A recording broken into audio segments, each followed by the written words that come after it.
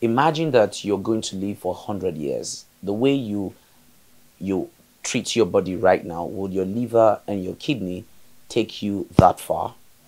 Now, you must understand that the body is a biologic organism or a biologic machine, just like your generator and your machines, your car. How do you treat them? You can replace the parts, you take them for regular servicing.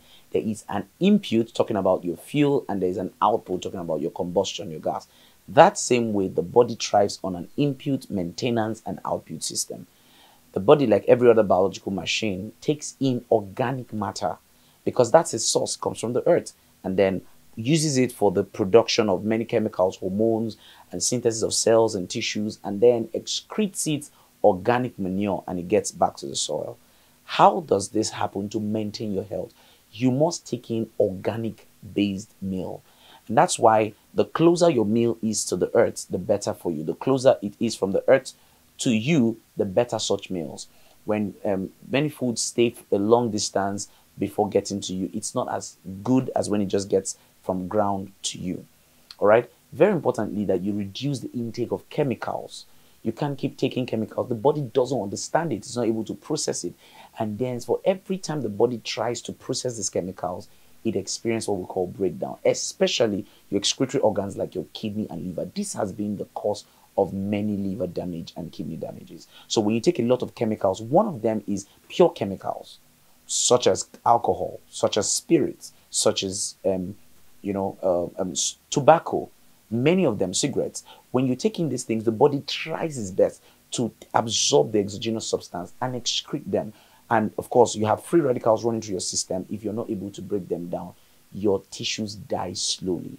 All right. Other other things are things like even um, polyprocessed meals. For example, roasted meat, what you call suya.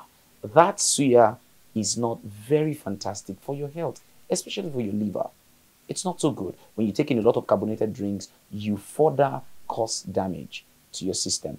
And more importantly, is that you may not notice them between the ages of 0 to 35, 40.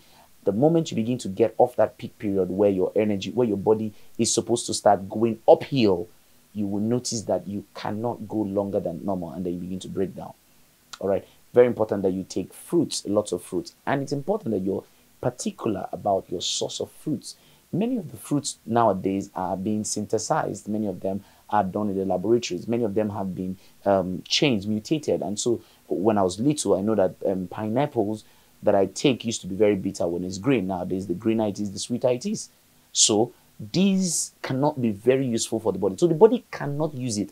The long and short of what I'm trying to say is that your body must use what it needs, not what it doesn't need. When you're taking drugs, if you can prevent the recurrent intakes of drugs, you need to do. Many of you who think that antibiotics is vitamin C, it's not. They're not the same.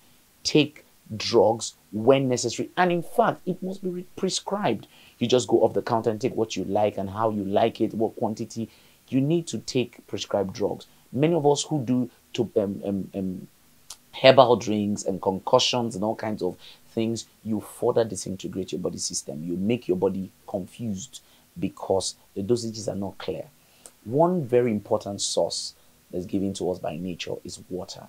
A high level of alkaline water is very good for you a high level of sunlight. Don't be afraid of sunlight. For many of you who go from air conditioners to air conditioners to air conditioners, you need the sunlight to help you provide vitamin D, which carries calcium, makes it absorbed in the bones, and prevents things like osteoporosis, low back pain, arthritis.